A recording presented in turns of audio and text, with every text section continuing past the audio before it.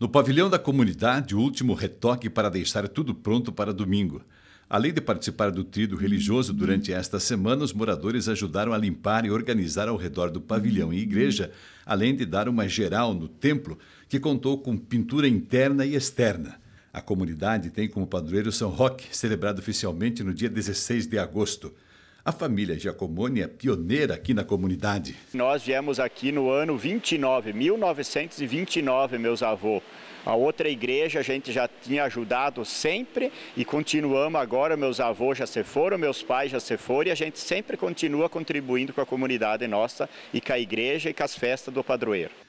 Seu Antônio é um dos moradores que se dedicam na preparação da festa. ajudei a descascar a mandioca, agora sábado a gente vai trazer alface, tudo para a comunidade, fazer a festa, tudo de presente. E agora como funcionário público, limpei todo ao redor da comunidade, está ficando nota 10.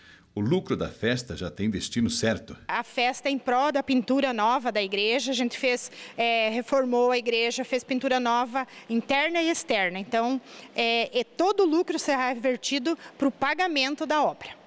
A coordenadora diz que este ano vai ter prato diferente no domingo, que mistura a festa religiosa e gastronômica. Domingo, que é o grande dia da nossa festa, dia 21, nós teremos a Santa Missa em honra ao padroeiro às 10h30.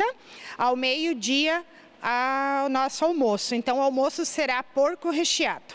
Tá? Vai ser uma, um atrativo novo quem pretende participar da festa domingo tem que comprar ingresso com antecedência. A reserva é no 99118 0299. Então a reserva é só antecipada. Então a gente pede para que reserve o seu ingresso, garanta o seu ingresso até no sábado às 12 horas.